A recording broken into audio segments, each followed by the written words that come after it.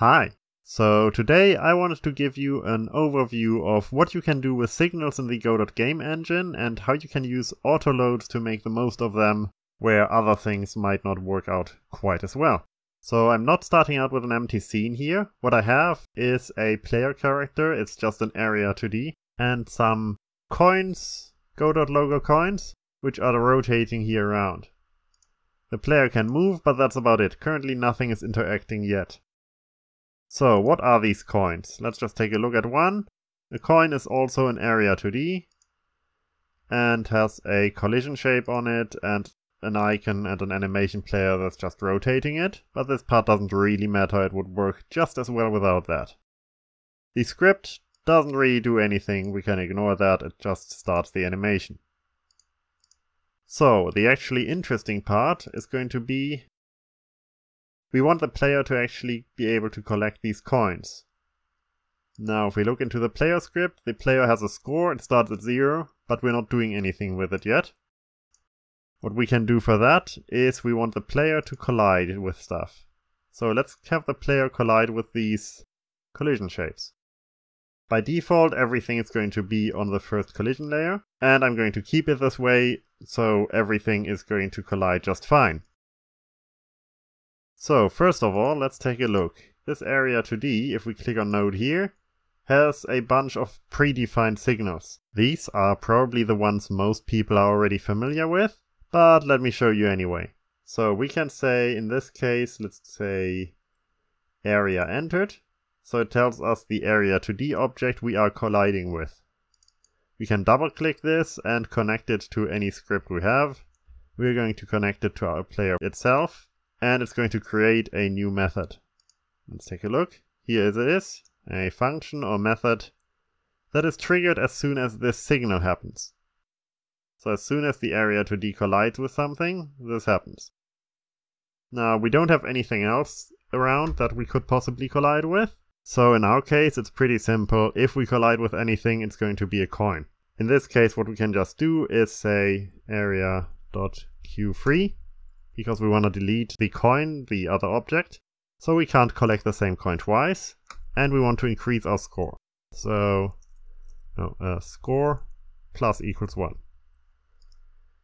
And let's print our score just so we can see that it's actually working. Let's make this a bit larger. And try to collide with something. And it's printing 1, 2, 3, and so on. So yes, it is working correctly. We can collect these coins. The predefined signal is being triggered, but what we still have to worry about is our score up here isn't updating at all. The reason for that is, of course, this is currently just a score label. It's not really doing anything, it's just a number written in the text up here.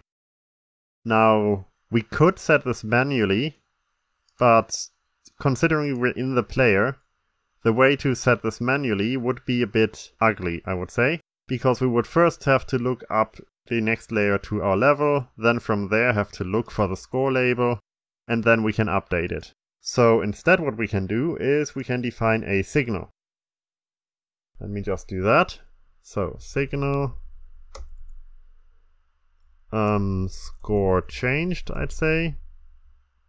And we can optionally, we could just leave it like that if we just want uh, to have a signal when something changes. But we also want to set the new score. So I'm going to set this new value in here. That way, whenever the score changed, we can just emit this. So let's do that. Instead of printing the score, we can say emit signal and just take the name of our score changed here.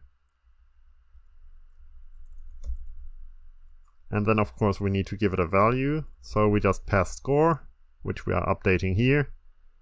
And with that, a signal is being emitted. Now there's still one issue here, because our score label currently doesn't actually receive it. So we are emitting a signal, but nobody is receiving it. Now what we can do, if we click on the player, we can see here, we can select it the same way we did with the area entered before. Go here, and then we could attach this to a script here if we had one. We currently don't, so let's just make one for now. Score label. Yeah, let's give the score label a script. Alright, now we go in here, score changed. And we emit we can connect it here. And it's going to create a function for us the same it did for, with the predefined signals. Now what we can do here is we can just say text equals str of new value to make sure that the new value is now actually a string. And let's take a look. And now the score is updating correctly. Nice. Now this is fine and all, and for simple scenarios I would say this is going to be working fine, but there are some situations where this could actually end up breaking. Say for example our player is not actually here from the start, but is being spawned in a bit afterwards. Say we are having a cutscene that's running in code where some enemies are already moving around, or whatever it is you want to do, and then the player is being spawned in. In that case, this would be a bit problematic, because we would have nothing to connect right at the start. Now there are ways to do that in code, but it can get cluttered very quickly. So one thing you can do that specifically is very useful when dealing with things you want to show on the user interface and stuff like that is to use an autoload script to handle all of the signals of this sort for you. So you don't have to sort where they go and whether the objects are already around which should be connected to it. So let me show you how to do that. First of all, we're gonna get rid of this connection here, because we'll be doing that manually now. We can get rid of this here as well, I guess. Actually, I'm gonna keep this around, it could still come in handy. What we can definitely do though, is we can cut this out. Don't just delete it, I'll still be using it elsewhere. Instead, we can do, let's go in here, and create a new script. I'll just call it a signals signals script. And where is it? Yeah, that's fine. It didn't open there. Okay, now this signal script on its own isn't attached to any node or anything. It's not going to be doing anything much, and that's fine. What it is going to do is it's taking over our score changed signal here. So this now no longer exists inside of the player, it exists here in this thing. Now if we look into the player script, there's one issue here, because if we try to emit the signal now, it's just not gonna work. We can't emit a signal that's no longer up here. What we can do is we can make this script here visible to every other script. So we can go into the autoload function, say select our signals, open, add, and there we go. So now if we go here, we can say signals dot emit signal score changed. This way, any signals we have that are of this sort, anything we can use this for HP bars, points, anything similar to this, we can just call it from here or any other script we have around. It's always going to be visible. In the same way, we can receive this signal in code. So what we can say is our score label can just get an onReady. So a function ready. And this means it's going to connect itself as soon as this thing is spawned in. The signals script is being spawned in right at the start when you first launch your game. That's the whole point of an autoload. It's always around. It's always going to be in the background. So whenever our player and our score labels spawn in, they can connect themselves. This here is just going to call it on signals, so whenever we try to call it, it's going to be there.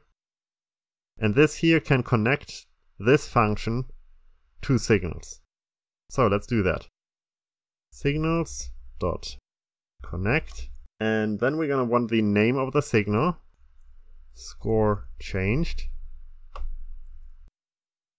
and then we're going to want a target object. In this case, the target object is ourselves, because this script here is within the same script we are writing this code. So we can just write self If you want to do this on a child object or something, you can use that as well.